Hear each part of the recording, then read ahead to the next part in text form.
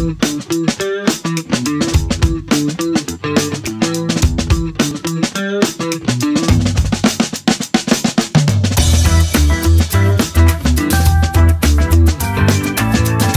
guest today is Kevin Ashley. How are you today, Kevin? I'm doing great, David. Thank you. Thanks for hosting me. Oh, it's good to see you again. It's been a long time. Yeah, last time I think we uh, we met was uh, at one of the Microsoft uh, machine learning events, actually. That was a lot of fun. We did that basketball thing, and we recorded an interview with it, and uh, it was really well received. Yeah. Um, but you're you're doing some new stuff now. I know you're doing a lot of artificial intelligent things, and and you're also an artist, and you combine those together, right? Well, it's uh, it's interesting. It's actually you know I rediscovered that uh, in fact um, I um, I can actually draw and uh, uh and thanks uh, thanks to the uh, research that I was working on in artificial intelligence and machine learning, which results in in another book by the way, and. Um, what happened was, I mean, as kids, we we all like to draw, right? And you, David, you you probably draw as well. I haven't I, seen your you do? Oh do yeah, you, you, don't know what you're missing. I'll send some to you sometime. but do you do you still do you still draw now or sometimes? Sometimes. It helps me relax. And and you know I um, what I discovered is uh, my first book, which is actually you know what I'll, I'll try to show it here, but this was my first book um, uh, about machine learning, and it was about uh, it was about sports and uh, sort of applying artificial artificial intelligence in sports. And um, I tried to do some illustrations there, and uh, you know, just looking at the quality of illustrations, they're very, very basic, right? Uh, don't have a lot of color. And um, uh, what I was thinking about for the next book, um, can I use uh, artificial intelligence to uh, to actually improve uh, the quality of of the drawings? you know, just like uh, I'm, I'm an engineer. I'm not a professional illustrator. Um, I'm not a professional artist. Let's put it this way, right? Uh, but uh, just like everybody else, uh, uh, in you know, when we were kids, right, we probably had a lot of enthusiasm about drawing and uh, just illustration, and we keep doing that until we're maybe maybe five or six. by the age of seven or nine, when we learn about perspective and how to do more complicated scenes, um, you know, we have a lot of information, but we really start abandoning this gift. And uh, that's what I was trying to uh, to fix actually in this book. It's uh, it's literally a, a, guide. You know, it's uh, it's a um, it's a guide for adults, uh, for anybody, not not just for data scientists or uh, you know engineers, but it's it's really a guide of how to use artificial intelligence to uh, improve your own skill, to improve your uh, you know illustration or drawing skills. And um, just to give you an idea, I'll, I'll try to show that. I'll, I'll see if, if that works. Uh, if not, then we can just. Uh, That's the book right there. Oh, okay, perfect. Yeah. So some of the illustrations, most of the illustrations actually, and I did hundreds of illustrations for this book. And uh, this book cover, uh, you know, illustrations uh, throughout the book uh, are all done um, by uh, myself with a little help from machine learning. And uh, I was, you, you, know, you, you, you, you, you'll be the judge, right? I mean, but this is the quality of illustrations um, uh, in, in, in, in the book. And it's a huge progress uh, from, uh, you know, the early sketches that I've done um, uh, with the previous book, right? And what I came up with in, in this new one. Uh, now you mentioned uh, that it uh, it helps you to improve your drawing, but it doesn't actually create the drawing, right? You, there's still an, some manual artistic work involved in this process, right? Well, that's that's a great question. So um, I remember reading a fantastic manual by uh, Betsy Edwards. Uh, she uh, she wrote a book several years ago, actually uh, probably 20 years ago, and uh, it became uh, a New York Times bestseller. It, it, really is until now. I think she sold like uh, 2 million copies or something like that. And the book is about using the right side of the brain. Um, you know, for drawing, for illustration. And she really tried to explain to adults how to improve the skill. So back to your question, uh, do you actually use, uh, you know, the AI uh, fully, completely, or do you use it partially as a, as a partner?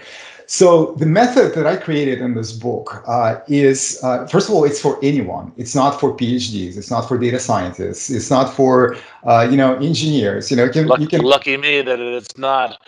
exactly, exactly. So you, you, can literally, you know, you can you can walk into uh, an airport bookstore if you at some point start flying again, right?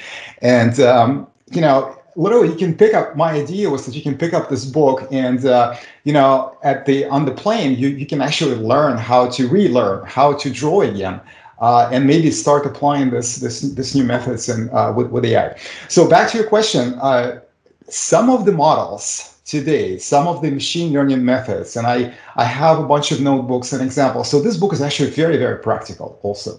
Uh, you can be a data scientist and you can you know you can plunge into the details or you can be just anybody uh, like you and me right? And and or you know your kids for example. And they can pick up the book and, and literally just try okay well can i can i just try and, and, and use ai to to improve my uh, my own creativity and skills? So um, some of the AI methods allow you to simply speak what you want to do. So you can just say, draw or paint um, uh, a cucumber in a in a in a you know in a pink outfit, walking a dog. You know you can you can do that. You can say these things, and there are models today that will actually paint a cucumber in a pink outfit walking a dog for you.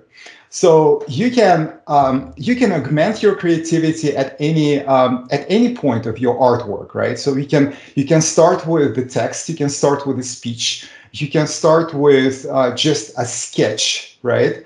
If you like sketching, for example, you can start with that. You you don't have to um, uh, start completely from scratch. Or if you like uh, a certain part of the creative process, like sketching or line art or coloring, you can just simply apply, uh, you know, uh, AI models at that at that particular phase. Interesting. Uh, and you said there's um I, I happen to read you sent me a uh, an excerpt of the book, and I noticed that this there are applications within fine arts and graphic design, movies, animation, films. Um, this is this is a technique that's used across a broad number of industries. That's correct, and uh, um, so uh, I actually I went through a lot of research and I read all the class. I mean, I mean, I read probably a bunch of classical books on animation and. Uh, um, you know, from Walt Disney Studios, for example. Uh, so the golden ages of animation, um, the golden age of animation was, I think, in, in 1930 to 1950, approximately. When everything was manual. When everything was manual. And so how that worked is that um, uh, animators uh, literally, uh, and, and so you have you had a, a master uh, guy, so to speak, right? So somebody who actually knew or had the idea about the entire concept of the animation, right? And so he would he would draw like you know frame frame frame one and frame ninety six which would amount to approximately four seconds of uh, of uh, you know of, of your uh, animation, right? And uh, you know he would he would let the other guys who actually worked for for Walt Disney, for example, to uh, to draw the remaining remaining 94 frames and uh, and that's the hard work, right? Because you yeah. you have to really. I mean, uh, have you have you tried animating stuff?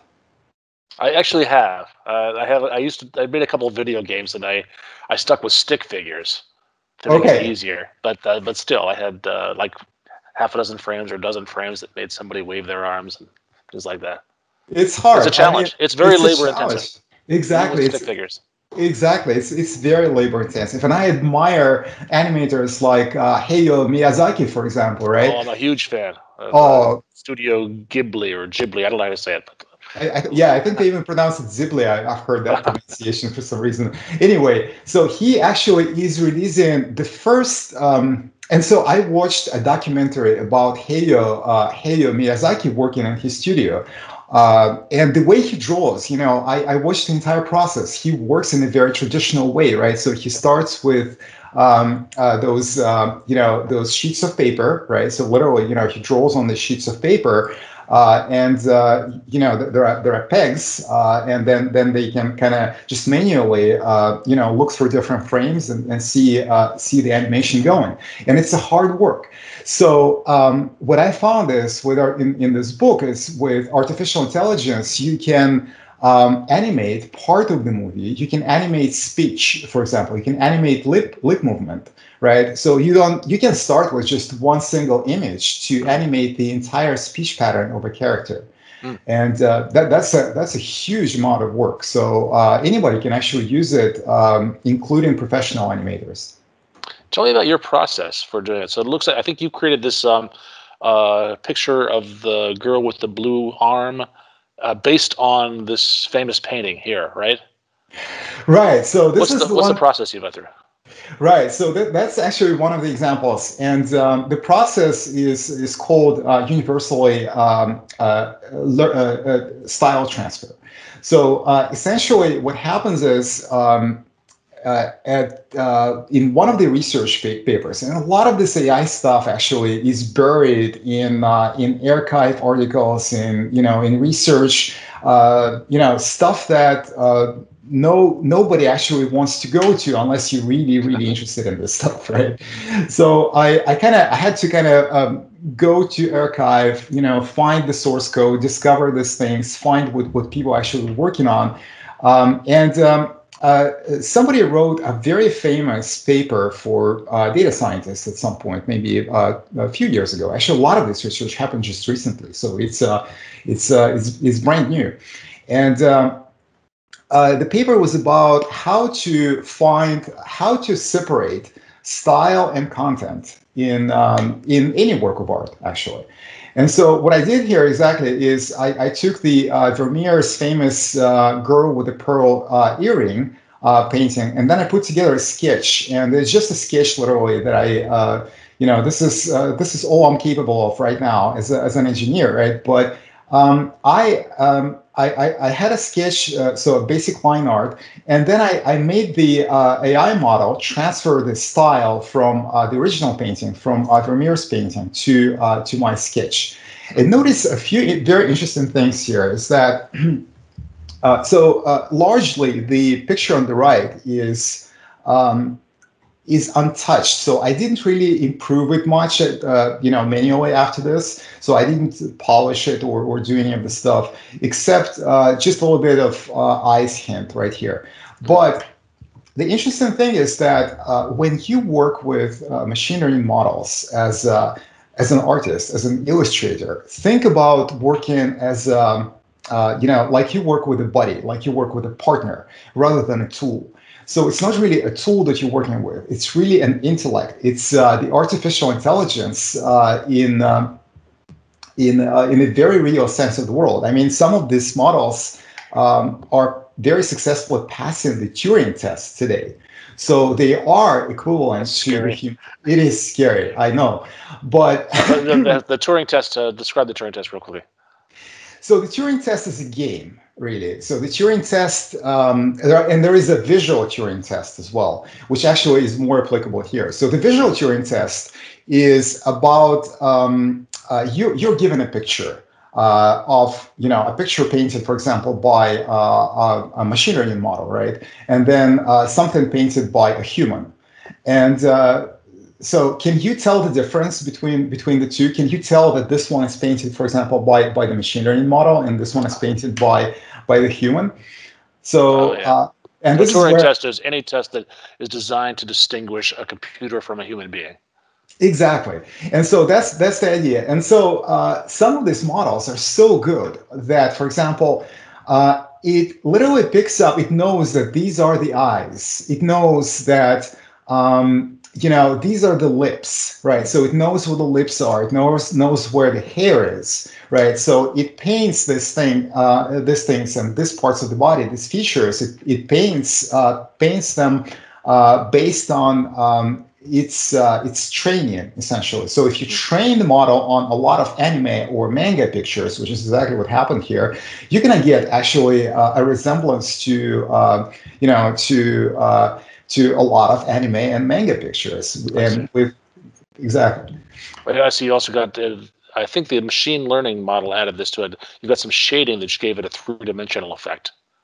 Well, that's that's another interesting thing. And actually, in my book, I have lots of tips uh, about how to uh, how to work together with AI. And this is something I believe nobody has done before because you know most of the most of the research papers they are focused on how to build the models right?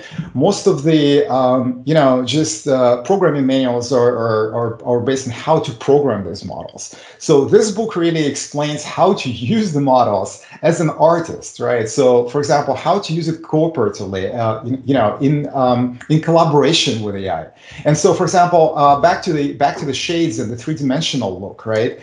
Um, the fact that machine learning models uh, today, uh, recognizing the face, are very good at actually figuring out the face orientation in three-dimensional space. How this is done, um, I can go deep into that. For example, the iris uh, actually is universally known to be around 11 millimeters or so, right? And so you can actually figure out the depth and uh, the orientation of the face in space, which is some of the what, what some of the Google models actually do today. Um, you know, uh, with the face orientation, they detect 486 features of the face. So the entire face is literally mapped out like, like a map.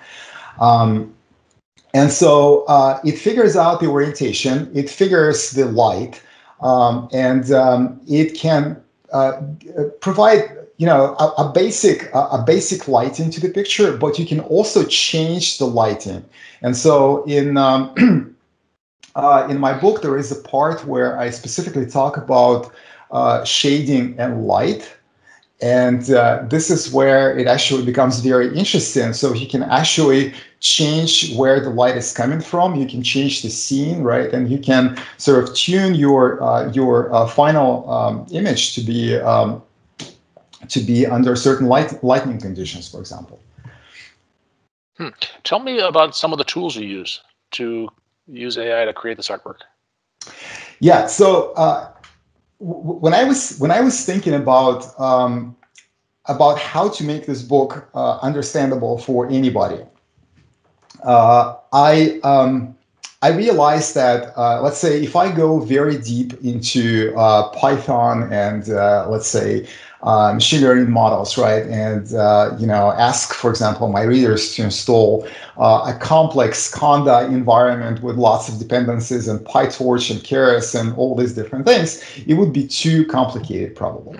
So what I came up with is uh, this idea of actually having uh, just a cloud-based uh, notebooks.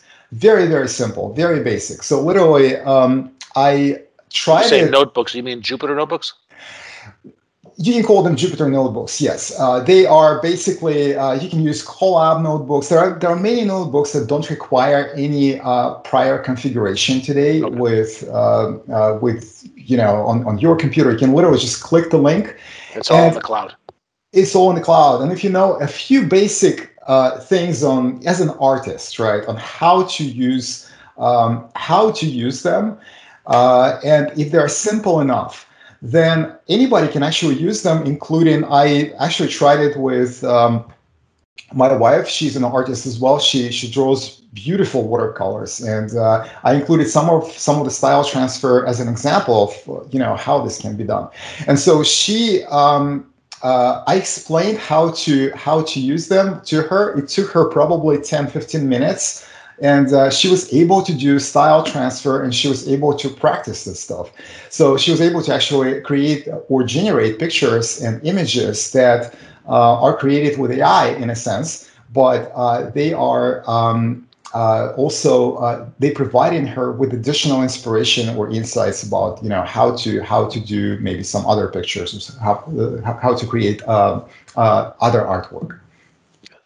How can people get the book? Is it available today so the book is right now in uh, in uh, under heavy development. Uh, it's okay. um, on Kickstarter. It's going to be available in two months. Uh, it's okay. probably eighty percent ready. Uh, so the barcode that you see here, the QR code, is actually on Kickstarter. I'll and, link uh, to it as well. Thanks. And uh, it's uh, yeah, I mean you can uh, you can order the book uh, through Kickstarter uh, today with actually a bunch of rewards, uh, and I, will finish it probably within the next month, month and a half.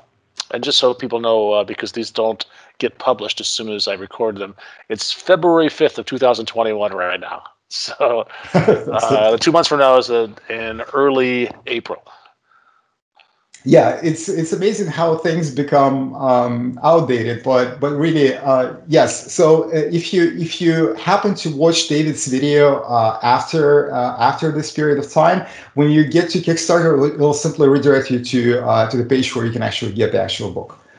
Terrific, Kevin. Thank you so much for your time. This is really interesting. I wish I wish you the best of luck with the book. Absolutely. Thank you, David. Thanks for hosting me, and I really enjoy being a guest on your show.